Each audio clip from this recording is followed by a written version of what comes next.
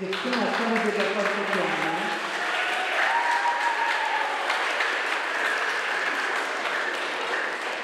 I zagra nam dwa utwory, w tym etiudę rewolucyjną Fryderyka Chopina.